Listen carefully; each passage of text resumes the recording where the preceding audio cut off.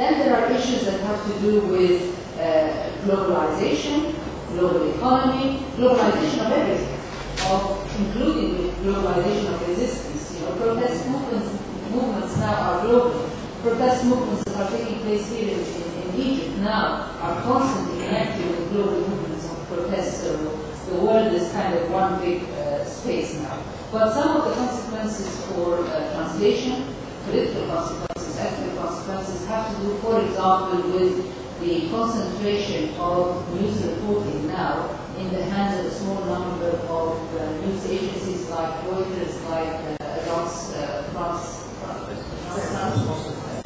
I think are um, Associated Press uh, and the Chinese one now increasingly.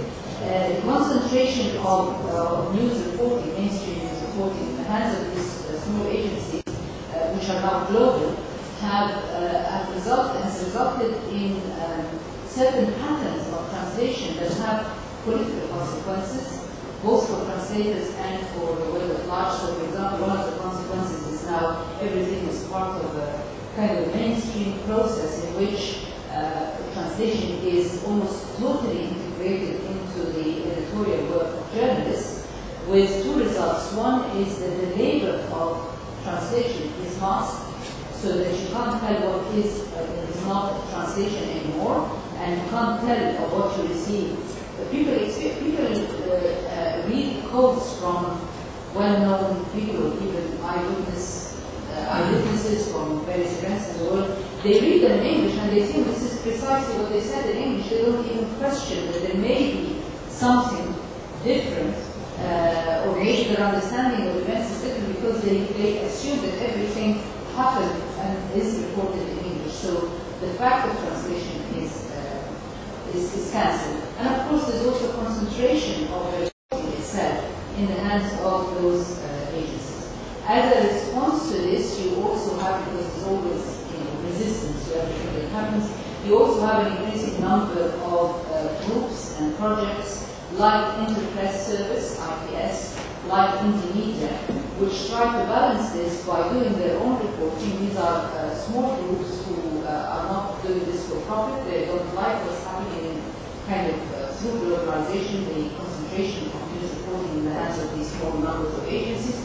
So that they, they do their own journalism, they do their own reporting, and they translate this stuff into a lot of different languages, including languages that mainstream reporting doesn't really uh, bother with too much.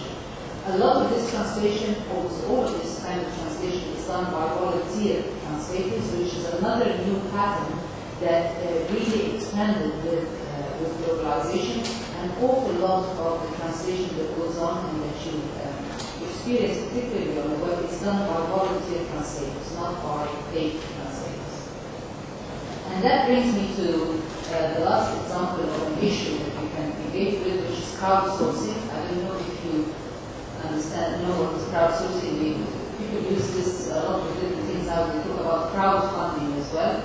That's a process where you source whatever you want through the crowd. You don't um, go and hire somebody to do a job for you. You advertise usually on the web. You say, we're doing this project. Uh, either we're crowdfunding for it, so uh, just ordinary people like you and I, if you in our cause, send us some money, or crowdsourcing, if you have the kind of expertise we need, we haven't got money to pay, uh, usually sometimes we haven't got money to pay, but as I also mentioned, the big organizations are now doing the same thing, they have the money but they don't want to pay, and they say to people, come volunteer uh, for us, do the translation for us, and this is good for everybody. Now, crowdsourcing uh, for organizations like Wikipedia, like uh, Facebook, Twitter, all these uh, places, TEDx, uh, is, I mean, in, in, some respects, again, you have to engage with it and see the different aspects. It's good because it reduces the digital divide and it makes a lot of knowledge and a lot of material available in a lot of languages for people who can make use of.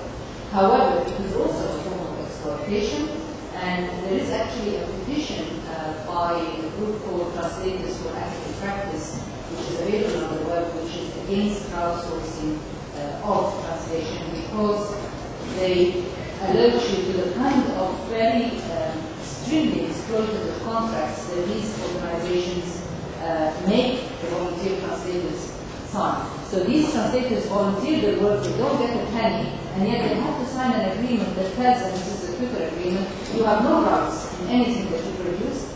We can alter it any way you like. We can uh, decide not to use it even after you produce it and you, and we told you to produce it.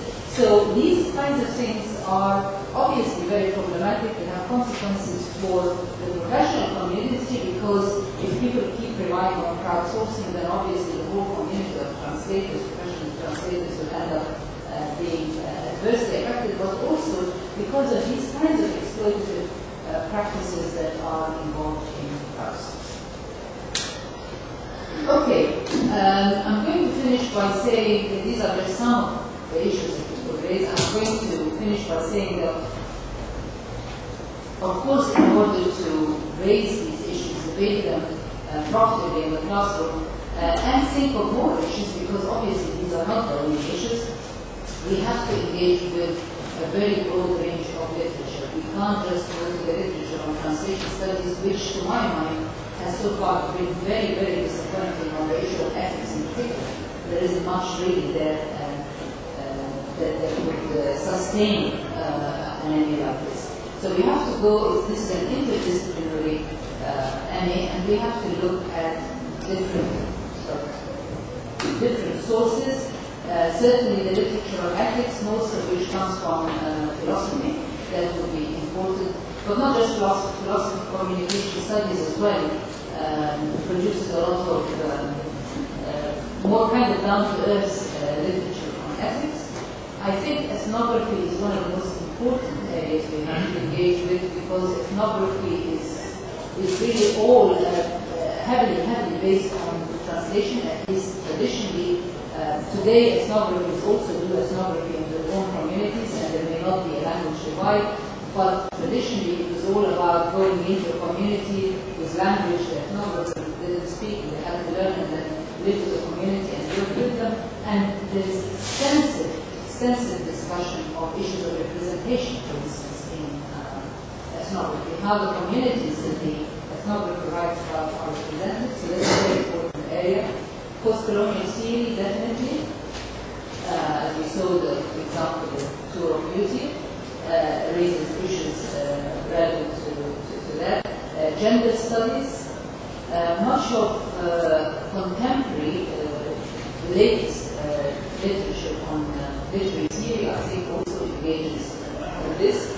And some of the most recent and more critical literature in translation studies. So we have we have a big job to do really because I think something like this has not been put together before. An MA specifically on the ethics and politics of translation has not been attempted before. As we saw, even in the existing MAs, the issue of ethics is hard, hardly features in the curriculum. People don't pay much attention.